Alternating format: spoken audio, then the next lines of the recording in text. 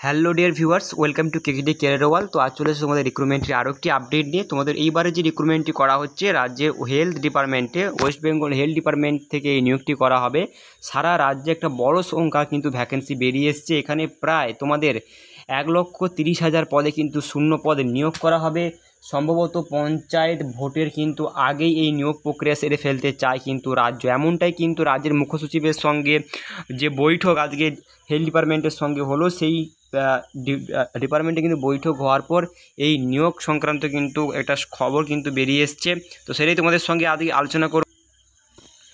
তো সেই সংক্রান্ত একটা কিন্তু প্রতিবেদন বেরিয়ে এসছে। তো চলো আমরা দেখে নেব যে কী ধরনের প্রতিবেদনটি ঠিক বেরিয়ে এসছে।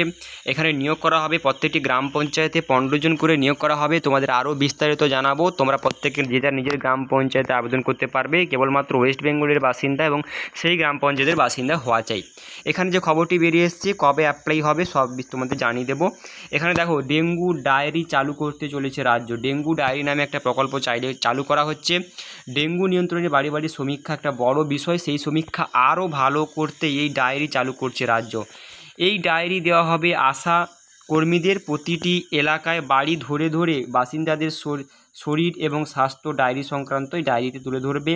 ব্যক্তির জ্বর, কাশি, সর্দি কি আছে, সেই সংক্রান্ত সমস্ত ডাটা কিন্তু থাকবে ওই ডেঙ্গু ডায়েরিতে।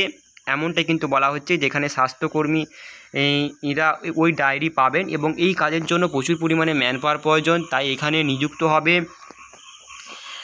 এখানে তোমাদের নিযুক্ত হচ্ছে এক লাখ প্রায় বত্রিশ হাজার স্বাস্থ্যকর্মী। এখানে এক লাখ বত্রিশ হাজার নিয়োগ করা হবে। যেহেতু প্রতিটি গ্রাম পঞ্চায়েতে পনেরো জন সদস্যের একটি করে দল গঠন করা হবে, এমনটাই কিন্তু বলা হচ্ছে। তাহলে সেই ব্যক্তিকে দেওয়া হবে ডেঙ্গু কার্ড এবং অসুস্থ ব্যক্তির ডাটা এরা বাড়ি বাড়ি গিয়ে সার্ভে করে তুলে আনবে এবং আবর্জনা মুক্ত রাখার বিষয়টিও একটা একটা তোমাদের ওয়েবসাইট তৈরি হচ্ছে, যেখানে এই কর্মীদের রেকর্ড থাকবে, যেখানে প্রত্যেক দিন রিপোর্ট আপলোড হবে।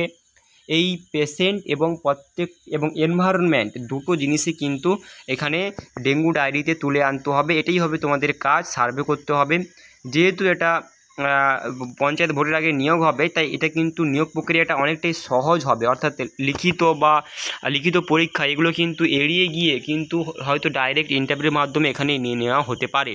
এটা কিন্তু নগর উন্নয়ন সহ অন্যান্য দপ্তরের পদস্থ কর্তা এবং জেলাশাসকদের নিয়ে ডেঙ্গু সংক্রান্ত জরুরি বৈঠক করেন মুখ্য সচিব হরিকৃষ্ণ ত্রিবেদী। সেখানে এই সমস্ত সিদ্ধান্ত নেওয়া হয়েছে বলে সূত্রের খবর। নগরায়ণ দপ্তর একটি নয়া পোর্টাল তৈরি করছে। যার মাধ্যমে প্রতিটি এলাকা আবর্জনামুক্ত রাখার বিষয়টির উপর কেন্দ্রীয়ভাবে নজরদারি চালাবে।